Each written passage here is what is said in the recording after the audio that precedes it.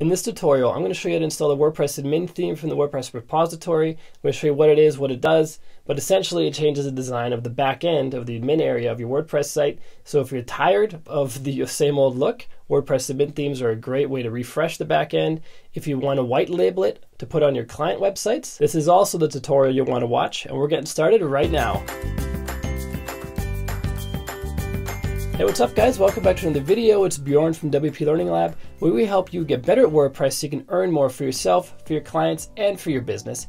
If you're new here and you like WordPress tips and tricks and getting better at WordPress for yourself and your clients, click on subscribe and click the bell notification icon so you don't miss anything. And if you like deals, I've negotiated a half off deal with InMotion Hosting. You get half off of any one of their plans that you want.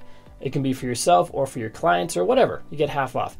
Link in the description down below for more details. And with that out of the way, let's head to the screen capture. To add an admin theme, we do it via a plugin. So I'm going to go to plugins and then click on add new because the under appearance and themes, those themes are for public facing. The admin themes need to be done via a plugin because they just do. There's no space created specifically for adding admin themes as a theme, so you add them as a plugin.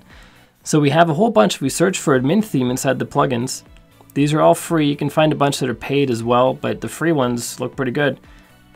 So this one here is Slate Admin Theme, 5,000 installs, 5 out of 5 stars. Click on Install Now.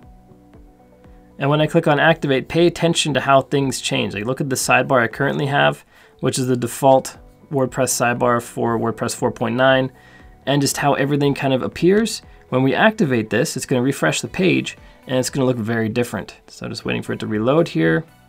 And now we have a very different looking sidebar.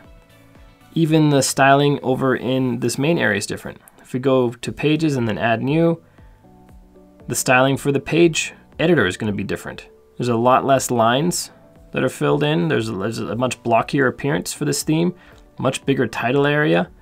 So it, it changes a bunch of stuff in your admin area. And that's what an admin theme does. But you can actually change these styles as well without adding a new plugin. You can do that by adding CSS to the header of all admin pages or even a dedicated admin style sheet. I've linked to two videos up in the card above to show you how to do that if that's what you want to do. Or if you'd rather have a plugin and just have it no hassles, no headaches, just install the plugin, boom, you're ready to go, you do it with a plugin.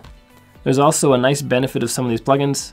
Well, the first one is a lot less time spent doing it, but some of them will allow you to white label essentially. So if you're creating client websites, this one here says you can add a custom logo, which means you can add a logo, your logo of your company into the client's admin area so they always know who did it and they know who to call when, when there's any problems. So if we just install this Aquila admin theme, see how it looks. Again, this looks quite different. This is probably the logo you can update right here. It actually looks a little broken. I, I don't think it's supposed to overlap like this over here. So clearly you need to try some, some of the admin themes and see which ones work best for you or which ones actually work. But if we go to, here they are, Aquila, under settings, it allows you to add a custom logo and allows you to change the color scheme as well, change the CSS through the plugin instead of through adding CSS to the header or a style sheet.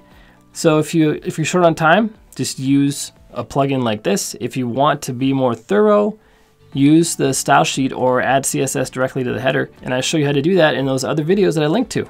So that's how easy it is. I hope this video helps you. If you haven't done so yet, hit subscribe and hit the bell notification icon so you don't miss anything. Check out the half off for hosting deal in the description down below. And next up is clicking one of these videos on the right hand side so you can get even better at WordPress. And until next time, keep crushing it and I will see you in the next video.